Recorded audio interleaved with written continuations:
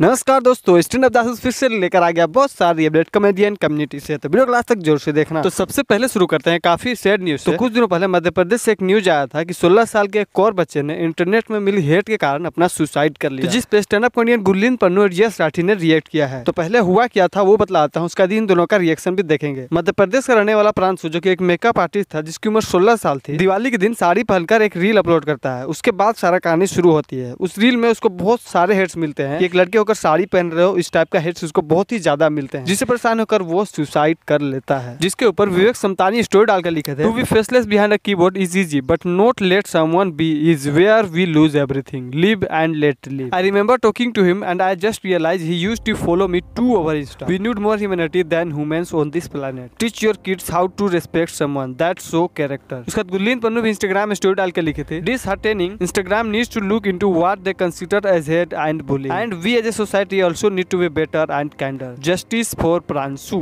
तब अगली अपडेट की बढ़ते हैं जो मुनार फारूकी और उनके बिग बॉस से जुड़ी अपडेट के बारे में तो दो दिनों पहले एक्स में stop body shaming and Munawar लगातार ट्रेंड कर रहा था। लोग ये डिमांड कर रहे थे कि सलमान खान वीकेंड के वार पे मुनावर के पीठ के पीछे जो बात हुआ उनके खिलाफ बुलिंग हुई है उसके बारे में जानकारी दिया जाए। पर ऐसा हुआ नहीं। वीकेंड के वार पे मुनावर फारूकी और विकी जैन को उल्टा फटकार लगाई गई। पर दो ऐसी भी चीज़ें हुई जो काफ़ी पॉजिटिव चीज़ है मुनावर के लिए उनके फ्यूचर के लिए बिग बॉस में। तो पहली चीज़ ये की सलमान ने मनारा को एक्सपोज कर दिया और ये बताया की मुनावर के बारे में कैसे वे चुगली कर रहे थे यूके के साथ पिछले एक हफ़्ते से बैठ बैठ करके लगातार उनके बारे में बुराई लड़ाइयाँ चल रही थी ये बताया गया मुनावर को। दूसरी चीज़ यूके राइडर को भी एक्सपोज कर दिया गया जो मनारा के साथ बैठकर मुनावर के बारे में बोल रहे थे उसके बारे में बताया गया मुनावर सलमान ने यूके को बोला कि अगर आपका होटल रूम में किसी और के साथ बाहर निकलने वाला बाहर वाली चीज़ से आपको ट्रिगर हो गया तो आपने जो मुनावर के बारे में ये बोला था कि पिछला शो में वो नाबालिग लड़की को डेट कर रहा था तो ये कौन सी अंदर वाली बात यहाँ पर वीकेंड का बार समाप्त हो गया और सब लोगों को इसके बारे में चर्चा करने के लिए बोला गया। तो इसका जो रिएक्शन है वो मुनार का भी नहीं आया है नहीं दिखलाया गया तो क्या रिएक्शन होगा वो देखना इंटरेस्टिंग होगा। तो अगली अपडेट की ओर बढ़ते हैं। तो कुछ दिनों पहले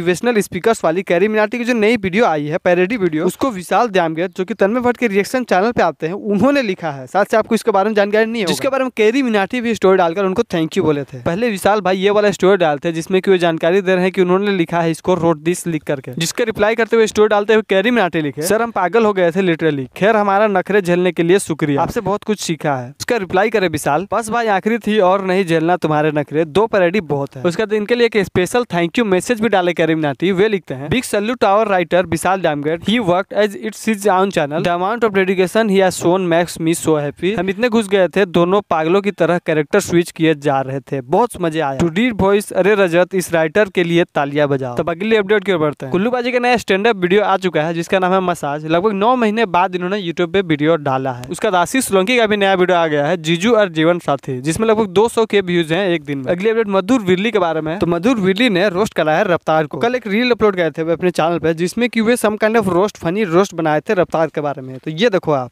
मैं अंजुम और रफ्तार सेम उसमें सुनना मेरे लिए बहुत टफ है भाई।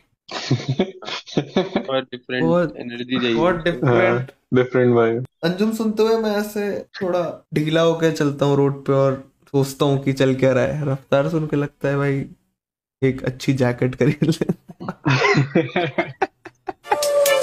तब अगली अपडेट को बढ़ते हैं, जो कि चंडीगढ़ कॉमेडी फेस्टिवल के बारे में तो चंडीगढ़ कॉमेडी फेस्टिवल 25 से 26 नवंबर का होने वाला है। ये एक ऐसा फेस्टिवल है जिसमें कि 50 से ज़्यादा कॉमेडियन एक साथ परफॉर्म करते हैं एक स्टेज पर। तो ये 25 से 26 नवंबर को होने वाला है, जिसमें कि इंडिया के लगभग सभी बड़े कॉमेडियंस परफॉर्म करेंगे। तो 25 से 26 नवंबर को ये होने वाला है। और अगर आप लोग चंडीगढ़ के नज़दीक रहते हो तो जाकर ज़रूर से देखना। नाइन इसका टिकट भी रहता है पर भाई। आज के लिए इतने दोस्तों, लगातार ऐसे ही कॉमेडियन से जुड़ी अपडेट पाने के लिए लाइक सब्सक्राइब कर घंटा दबाना मत भूलना।